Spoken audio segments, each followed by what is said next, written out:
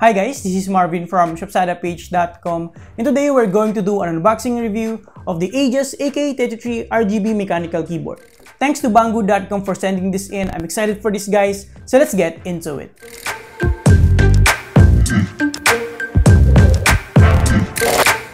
Alright guys, so right here I have the packaging for the Ajazz AK33 RGB version mechanical keyboard. So in front we have a Geek logo right here and then at the back, we have some technical information about the keyboard which we're going to dig in further later. So let's see what comes in the package. Inside the box, we have two foam protection on both sides of the keyboard as you can see here.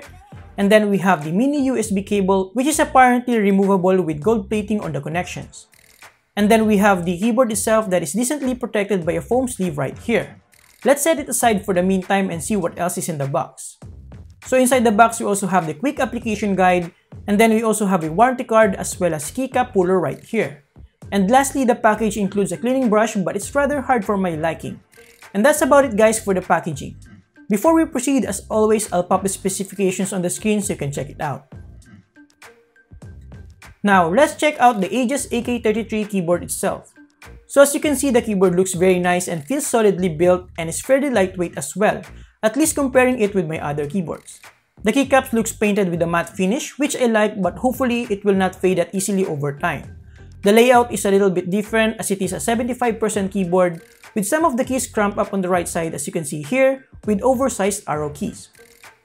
The overall design of this keyboard is very nice and fairly neutral when comparing it to let's say an aggressive gaming keyboard style. It has a clean chamfered edges around the aluminum backplate as you can see here, and the backplate itself has a subtle texture on it which I personally like compared to just plain aluminum finish.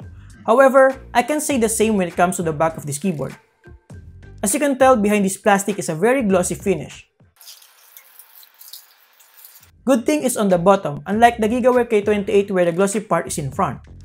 So it has rubber feet on all corners as you can see here, and what's good about this is that it also has rubber feet on the adjustable stand as well, which I hope every manufacturer implement too with their keyboards. And lastly, we have the Geek logo at the center with an embossed Ajazz logo up top. Now, looking around the keyboard, we have the mini USB port at the back here, which makes this keyboard even more portable with a removable cable and a very small form factor. I've been using a full-size keyboard for a while now and this is certainly a refreshing look and I think it would fit my setup very well. Looking closer, since this is a 75% keyboard, some of the keys that we usually see on a full-size or even a tenkeyless keyboard is cramped up on the right side here, and some of the keys were modified to accommodate other keys. For example, the right shift key is smaller as well as the control key compared to the left side. The delete key is also up top near the backspace which is rather unusual.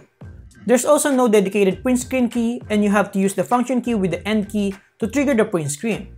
Also, the escape key is larger than usual and there's no space in between the function keys and the number keys. The keycap's height are also adjusted for a more ergonomic typing experience.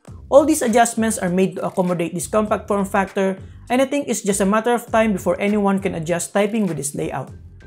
Moving on, let's check out the RGB lighting of this keyboard, which I think is one of the selling point of this version compared to other versions of the Ajazz AK33, which is by the way spanned across different colors and types of switches. Plugging in the mini USB, you will be greeted by a green boot up sequence, after which you can change the lighting modes by hitting the FN plus F8. This keyboard has a whopping 19 lighting modes so I'm just going to save your time by shutting my mouth and just show it to you guys one by one real quick.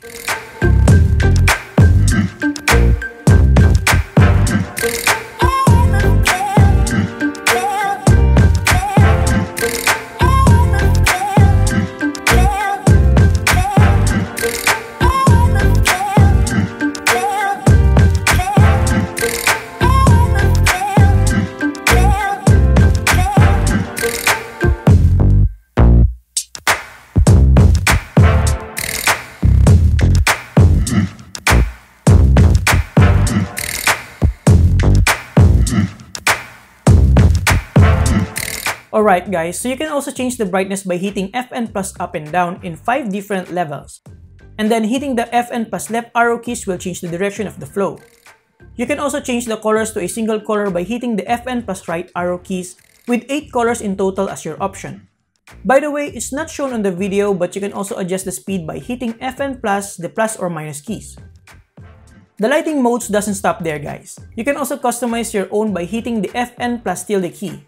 Once inside the custom mode, hit the same combination again to start recording which will be indicated by the caps lock LED flashing.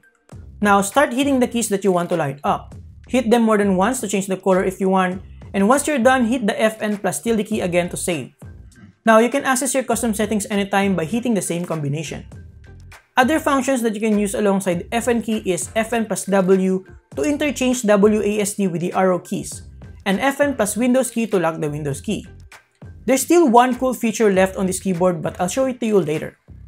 Now, what I like about the RGB lighting on this keyboard is that it's a true RGB keyboard, which means the transition between the colors is very smooth and that you have a variety of color options other than the basic primary colors, which is one of my big issues with my other keyboards. For example, my Gigaware K28, although it has a ton of lighting modes as well, it doesn't have a single color option, which is a big bummer. While my Motospeed CK104 lacks other colors like a dedicated color orange for example, which I was looking for to match my setup. The transition of the colors is also not that smooth as you can see, so having a true RGB keyboard with the Ajazz AK33 is really nice. Looking closer at the RGB LEDs, you can see that it's fairly bright and with the help of the switch being clear and with the aluminum back backplating, the RGB lighting reflects even further. You can also see here that the transition as I've mentioned is very smooth across different colors. Now, let's talk about the switches on this keyboard. As far as I know, there are two available switches for the RGB version which is black and blue. What we have here is the Zorro Black switch, which is another Cherry MX clone switch. It is linear, so there's no clicky bump when you press on it. The actuation force is rated at 60 grams, although I feel like it's a little bit lighter than that. Having been using blue switches before, the experience is definitely new. It's not as satisfying as the blue switches, but I think I like this switch better, as I feel like I can type faster now with less intrusive noise. With regards to the keycaps, it is made from ABS plastic with laser etched labels. The build quality is okay but unfortunately it's not double shot, which is a little bit disappointing. The matte black coating feels really nice and I just hope this will not fade easily over time. What I like about these keycaps on the other hand is that it uses what I can say a normal font, which I prefer compared to an aggressive gaming font that we usually see on most keyboards out there. Now, let's do the mandatory typing test so you can have an idea how the Zorro Black switches sound.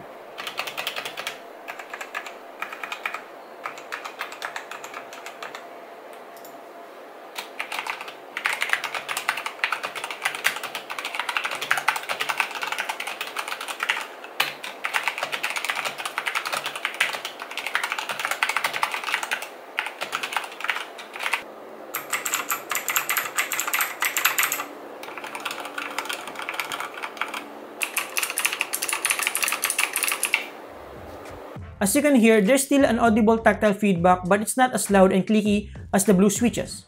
So I guess it will just boil down to personal preference when it comes to the switch you're going to choose for your own setup.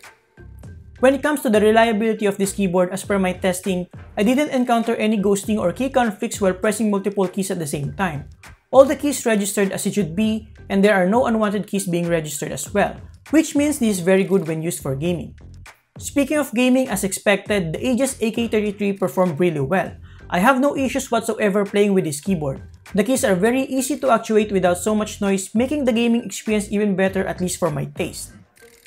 And using this for productivity, especially with heavy typing tasks such as writing articles, the typing experience is really nice. And as I've mentioned, I feel like I can type even faster on this keyboard with fewer mistakes compared to when I was using a keyboard with a blue switch. Of course, your mileage may vary and the experience will be different depending on your typing preference. And lastly, before we wrap this up guys, I mentioned earlier that this keyboard has still one cool feature up its sleeve, and that is the software, which you can download from their website. Inside the software, you can customize the keyboard even further by modifying keys, recording macro settings, and setting up custom multimedia keys.